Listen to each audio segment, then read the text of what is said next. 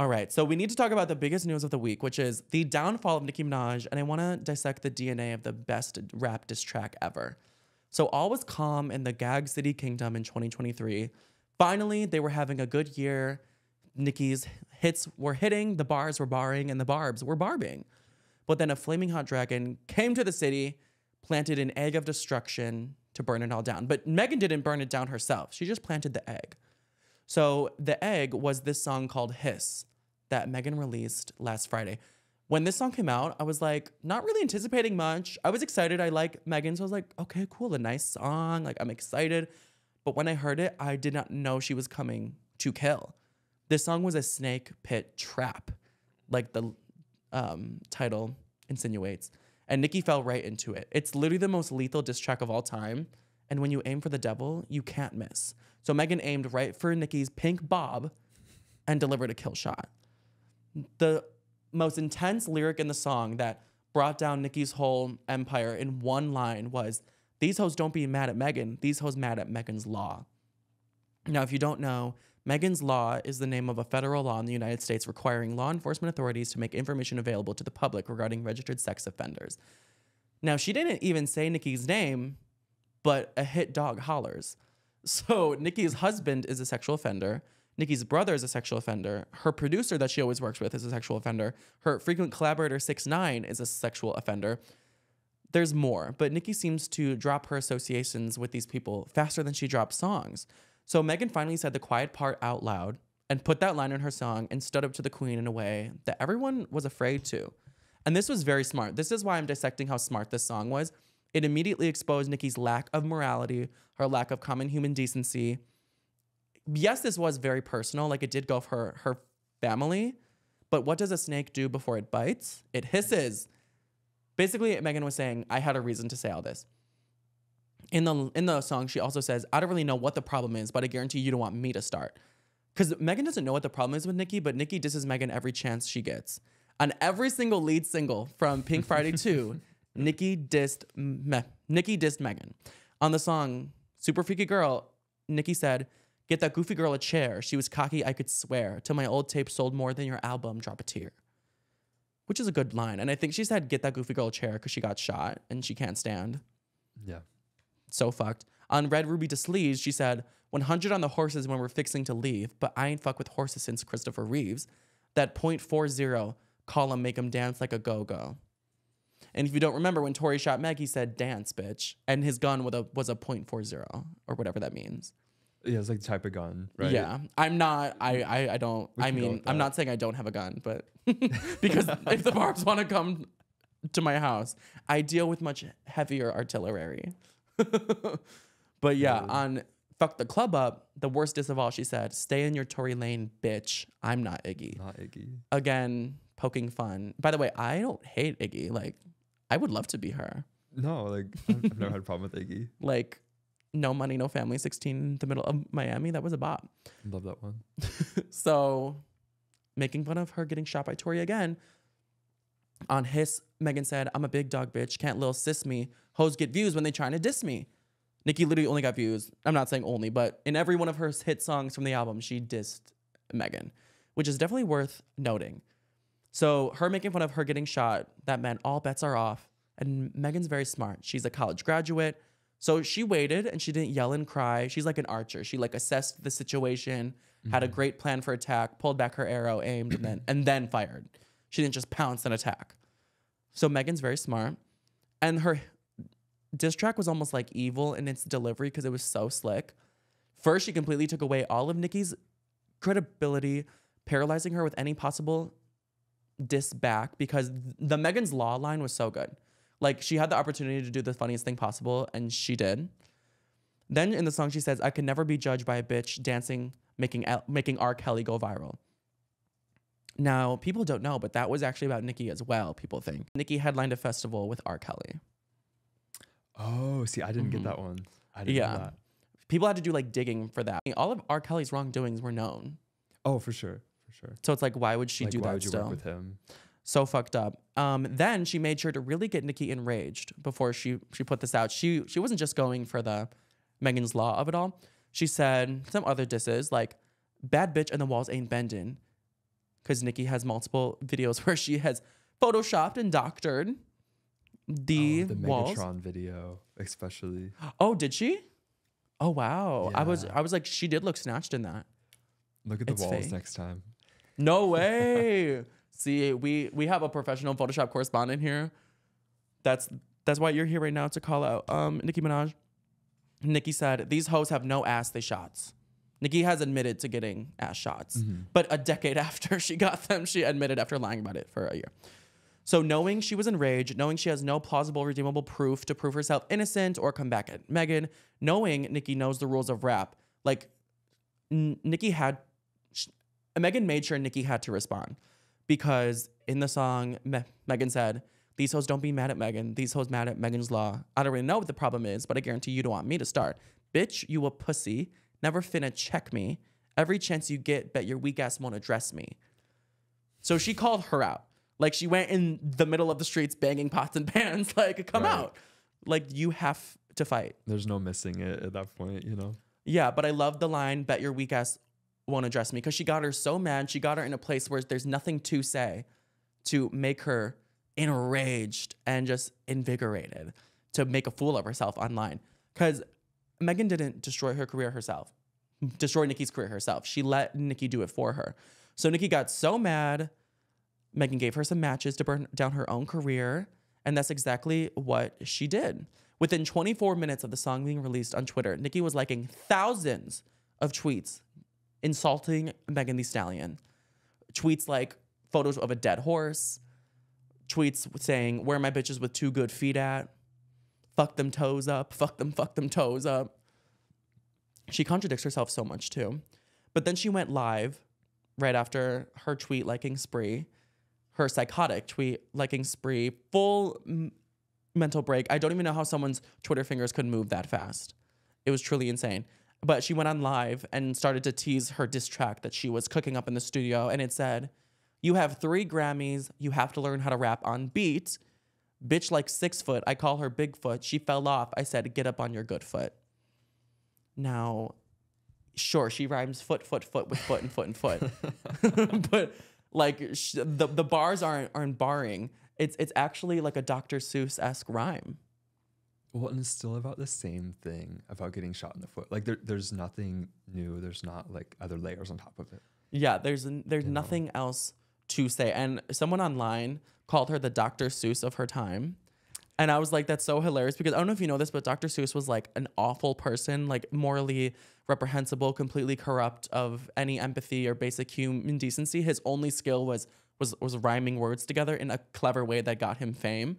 So he was like, wait, Nicki Minaj is the Dr. Seuss of her time, which is actually so funny because she's like, I'm the queen, I'm the queen of my time. But no, you're the Dr. Seuss of your time. And it's the most outlandish comparison, but it's so true. I'm obsessed with it. So after Nicki got her in this situation where she has nothing to say, she knew Nicki would go to the farthest lengths to try to take Megan down, which would make Nicki embarrass herself. So she wanted Nicki to act like a fool like this. She was really lashing out like a wounded animal trying to survive. That's when you see an animal go crazy. When they're backed into a corner, they got some lashes and like they're trying not to literally die. Like they'll just thrash and go insane. So the apex predator was down. So Nicki started tweeting crazy things like, Y'all want to bring up family members and lying on your dead mother. You lied to Gail, fucked on and lied to your best friend's man, told me to drink and go to the clinic if I was pregnant, all because I wouldn't let your funky butt pour liquor down my throat. Bitch thinks she a bully because she got a Roc Nation brunch every year. He told all your tea, but you taking shots to my family. Blah ha ha ha ha. Get up on your good foot. Every album she's ever released flopped. Paid media all the time. Fraudulent awards flopped. Horrible actor can't cry on cue and act like a bookie. It's a chop. Pathological and manipulative liar. This bitch ain't got streams in 84 years. Her team didn't want me to drop because they knew those numbers gonna embarrass her lying lipo ass. Sh- Basically, she said a bunch of other things about her um, n- including but not limited to saying she slept with her, that Megan slept with her mom's boyfriend after her mom died, that she lies on her dead mom's grave all the time to manipulate people, that she's a fragment foot bitch because she has bullet fragments still in her feet, which is kind of weird because she says you're lying about getting shot, but you're also a fragment foot bitch. Right, like they're contradicting, like you said. yeah, she's she's really just um s- like spiraling com- completely. I I spiraling isn't even the word for it, but it's just having a psychotic mental break of dangerous proportions. Like Gag City was nuked in this situation. Uh, she retweeted a tweet that said, "So let me get this straight. Megan knew Nicki was trying to get pregnant, and she tried to shove alcohol down her throat on live. False. Nicki was not pregnant at the time, and Nicki was trying to shove alcohol down Megan's throat at the time. Then it said Megan slept with her best friend's man and allowed her best friend to be dragged all over the internet. False. That's not the reason why they were beefing in court. And even the lawyers who were in the room at the time said that's not the reason why they were beefing. Then it said Megan suspected Nicki going to the clinic when she knew she was happily trying to get pregnant. Megan had surgery on her body, but lies to the internet to make people think she's going to the gym. We don't know what, what Megan did, but Nicki, you went to a man's basement to get concrete ass shots in like Tijuana in 2008 so you can have a rap career. I don't know why you're sub dissing yourself here. Yeah, like insulting someone for lipo, just Yeah. you know, it just doesn't really hit. And I don't think Megan got lipo. It's not like she had a crazy body transformation. She maybe lost like five pounds. And even if she did though, like how are you gonna you hold that against someone? No, exactly. It's all just very self incriminating. She sh- shot her own foot in a, a metaphoric way, which is, I just think that's so poetic of the whole situation. So she also said that Megan calls her apparent best friend racial slurs behind her back. She's referring to Cardi B, who is of Mexican descent in some way. So I think she said she called her a dirty Mexican. Something I- like that. I don't Yeah. know if that's. I mean, I'm assuming that's not true because Cardi and Megan continue to hang out all the time, and Cardi would not take any shit like that. And everyone on Twitter was like, "Megan is from this part of Texas. She would never say that." The Barbs were doxing anyone who would not agree with what they were saying, as if they were a cult member, and if you go against the cult, you're gonna die. They found Megan's mom grave and said they were going to dig it up. They were calling everyone ugly, whores, slut shaming them. Like the Barbs were all lashing out with Nicki because that's kind of just the fan base that Nicki raises into situations like this. So they're gonna act just like her because if they go against Nicki, that's like losing a part of their identity. So they kind of have to. But it's weird that they revert to being misogynist and horrible people just to support their queen. You know what I mean?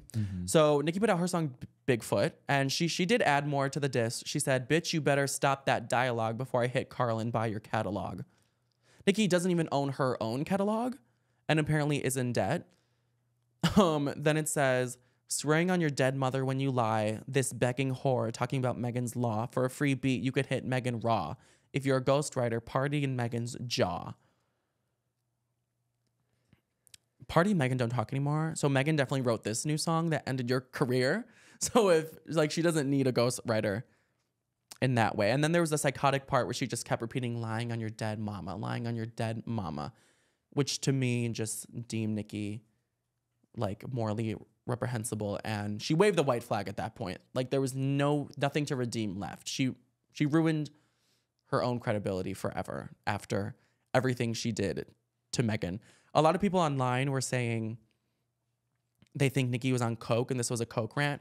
And I wasn't gonna bring this up, so the Barbs didn't like send like send me my mom's toe in the mail tomorrow, and then the next day send me her left foot or something. So I wasn't gonna bring this up, but Nicki confronted it and said, "Whenever you see the words coke rant, you know they're mad. If y'all hear how loud I'm laughing, I've never done coke in my life, but if I did, I'd proudly do it. I would." You waited up all night for this ass song, though, right? Yes, yes, Nicki. Nicki thinks the streams and the records she's breaking are people laughing with her. They're laughing at her. The overall reception to it though has been so bad. Totally. You know, I feel like people are listening to it out of like just to hear like, oh, what is this? You know, it's, it's Yeah. not like, oh yeah, this new song. Like, it's more just like that. They want to hear the shock value of it and not a good reaction to it. Yeah, I streamed it once just for like psychiatric reasons, Mm-hmm. just to You have observe. to know, like, right? Like, Yeah, it's like seeing a car crash. I had to look just a little, but I didn't give her any more streams. But it's really, we're in unprecedented times because the internet turned against Nicki completely after seeing her literally be like a savage, like take herself down so low. And I always saw this psychotic part of Nicki behind her eye. And I really thought she was doing really good in 2023, even though I still sensed something was off. It just seemed like she wasn't doing the best and she was one laugh away from a tear. Like she was gonna break at any moment. So I feel like Megan knew this was her moment to crack her. She broke Nicki Minaj. At the end of Bigfoot, she stopped rapping. She was just whispering in, into the mic, like, those lies you said about your mom, you don't want them out. She broke her. She couldn't even rap anymore. But this is unprecedented because even Barb's are turning against her. Every tweet is against Nicki Minaj. No one's calling her the queen anymore. If they call her the queen, they're calling her the self appointed queen of rap. Like she's lost the title of queen because this isn't queen behavior. And people understand, like, you don't deserve that title if you're not going to act like it. For sure. I mean, I think of other people that I I you know previously would have put on that same platform as Nicki, like Rihanna, you know, along the lines like Beyonce. Like you can't imagine them doing something like this. No, Like, people were tweeting like Nicki officially ruined whatever was left of her legacy tonight. Yeah. And it's very clear that all the rap beefs before Lil Kim, Remy Ma, Latto, Cardi, Iggy, now Megan, they weren't the problem. And I feel like Nicki always is trying to fight this this toxicity that she has. And I wish she would feed the good wolf and not the bad wolf, as people would say. But she just fed the bad wolf in this, this situation. I do think she has a good side. Barb's, I respect you. I love you. I love your loyalty. I have a deep love for Nicki, obviously. I've grown up with her. But in this moment, she fed the bad wolf. And you guys can't, like, at, you're her stand. And I think as she's the object of your standum, you need to kind of like hold her accountable. So, Barb's, I can't ride with her on this. If you're being loyal, I respect that. But try not to you know, stoop down to that level with her. But um yeah, I just think this song was so perfect because in the song Megan addressed anything she knew Nicki might come at her for. She addressed the Tory comment. She was like, "Don't say anything to me about Tory. If you want to talk about him, write him a letter, schedule a conjugal visit in jail." if you she's addressed the body shaming or not, uh, she addressed slut shaming comments. She said, "If you're gonna call me a slut. Yes, I have these bodies, but I'm proud of it. And I've used any man I've had sex with and they've talked about me as promo. Like I'm proud of what I've done. And I thought we would move past that conversation. So it's weird that Nicki was doing this. If we want to psychoanalyze Nicki, what do you think she was going through when she heard that song drop? You know, I actually saw a post, a really good post about this. Let me see if I can find that. Oh. So one thing that someone said, which kind of like we talked about earlier, is getting your lick back isn't always as important as keeping your legacy intact. Mm-hmm. And I kind of think with part of this, like, I don't know that so many people would have clocked it being about Nicki if she wouldn't have Exactly. said that. Like, I think isn't that called like the Streisand effect? I, I wrote that Oh, down. you did. Okay, sorry. I don't want to take away. Oh, no. from I, what no, no, no, no. Yeah. Say it. Um, so correct me if I'm wrong, but isn't the Streisand effect like back in like the 90s or something, 80s? Barbra Streisand, like someone took a picture of her house and she made a big deal of it in the courts, and so as a result of that, um, all the reporters started taking pictures of her house to like show it and talk about the story. It ended up being a way bigger thing than what it would have been if she just would have like let it go under the rug. And I kind of think this thing with Nicki could have would have been like that. I mean, obviously some people still realize, but it wouldn't have been Exactly. big, you know? Does that make yes. sense? Yeah, the Streisand effect. Like if you pay attention, if you give something more attention than it needs, it will blow up when it didn't need to. So like like it, it could have escaped everyone's mind or just went over everyone's head. Mm-hmm. But since you were anxious about it and confronted it, now everyone knows. So exactly, Nicki gave into the Streisand effect, but that's exactly what Megan wanted in this case because these hoes are mad at Megan, they're mad at Megan's law, and then she said, "I bet you won't address me." Like she called Nicki out and taunted her, so Nicki was like, "I have to address it." So Megan kind of set her up to expose herself because she never even said her name. She's just like uh, Right. Megan's law, and now how about you? ad- you address me and you call out yourself for this being about you. She's literally so smart. Like this was the most perfectly calculated takedown I've ever seen because she knew how she knew what to do before. She knew what Nicki would react to as it came out and completely debunked anything that Nicki could say about her after and set her up to destroy herself. This is just the most perfectly calculated takedown of all time. And I've seen so many tweets being like, Megan Thee Stallion is the new queen of rap, queen of rap, Megan Thee Stallion. And like last week, if someone told me Twitter would agree that Megan Thee Stallion is the queen of rap, I would have not believed you. Oh, for sure. It's crazy how her mind is so powerful. She has overthrown the queen, dethroned her. This is like a non-peaceful transfer of power that we're seeing, and and, and Nick, she's going, she's not going out without a fight. But the, the village people are like off with her head. She's abused her power as the queen, and there's a new queen. For sure. And like you said, I mean, I'm a long time barb. So this is like, Oh, you know you what I'm saying? It's like, it's kind of hard. It's hard to see it on her end of it, but also like, Meg did her thing, you know, and that brought us here. Yeah, I agree. So as as a barb, do you think you can ever be a full barb again? No. Yeah, I was like, please say no. no, no. I was, that's what I've been saying to my friends because they've been asking me about it. I was like, I can't defend this, you Mhm. know? Like, Indefensible. yeah. Career staining, career almost completely ruining. Nicki will never be respected or admired in the same way ever again. And if this didn't end her career, it changed it forever. And I think rendered her unworthy of the title of queen. And she did it to herself because Megan Thee Stallion bit her with her with her snake venom. Now Megan Thee Stallion's doing like a whole plot of songs right now. The first one was Cobra. And it's about her saying she's like sad and depressed. She said, This pussy depressed. I've been there. Like my my pussy's been depressed before, you know. So then hiss is like when someone who was hurt like lashes out. Mm-hmm. And I think Megan's third song should be called Megdusa, like mum like Ooh, Medusa. That's good. That's where good. she's like the queen of snakes and like turns people to stone. mm-hmm. Like she'll she'll freeze them because Megan just going along with the whole snake thing. Like I'm picturing that one movie. I don't know if it was called like Clash of the Titans or something, but Medusa has a scene and she's just this giant snake with snakes on her head and she'll turn anyone who goes against her to stone and like freeze them. And she's like frozen Tory Lane's career. She's frozen DaBaby's career. Now she's freezing Nicki Minaj's career. I was like, she's Megdusa. So that should be the name of her next song. I really like that. She could do a really cool video with that too. Right? know? Like Meg Dusa, I'll turn you to stone if you're a loser. you know? so Megan, the third song should be called Meg Dusa. I think it would work so good. So what can we learn from this? I think you can learn how to destroy your own enemy. You basically prod them to do it themselves. You calculate every move about them, what triggers them, what will get them to react, and then lay the seeds for their own destruction. Give them enough rope for them to hang themselves. Right. I think Megan's like silence right now is also very skillful. Yes. Like not saying anything about it yet. Yeah. Ah, she's so good. I'm like madly in love with her. And I always have been on this podcast, but I've always loved Nikki too. So it's interesting to see this transfer of power. And now she's going on tour this summer. Are you going to go to the Hot Girl tour? If I can get tickets. I maybe. know. I wonder if she'll do arenas or theaters. I don't know. I haven't heard. She she is massive, but like selling out arenas hard. That is. So I don't know. I'm gonna try to go though. I do have. I'm trying to get like.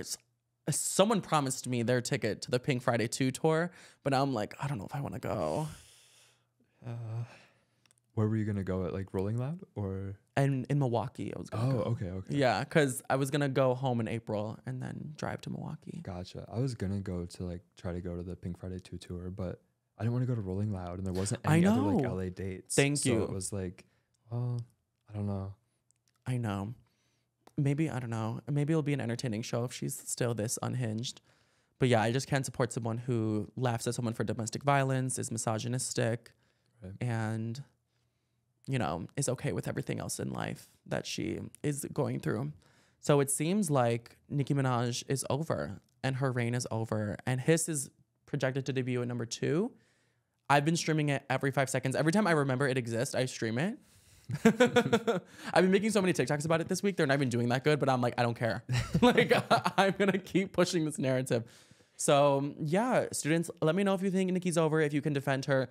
Again, Barb's, I, I hope you know I was objectively saying all of this. I'm simply the reporter, the vibe checker, reflecting the vibes that y'all were putting out. So don't dox me, don't waste your time. You don't I am a nomad. I don't have an address. I come and I go. So don't even bother. Um, I I have a Shih Tzu who will bite your ass. so I'm just kidding. But anyway, thank you guys for joining me this week. We have to wrap it up here. So and um, next week, get excited for the continuation of the Nicki and Megan saga. All right. Bye, everyone. Love you all. Class dismissed. Mwah. Mwah. Mwah.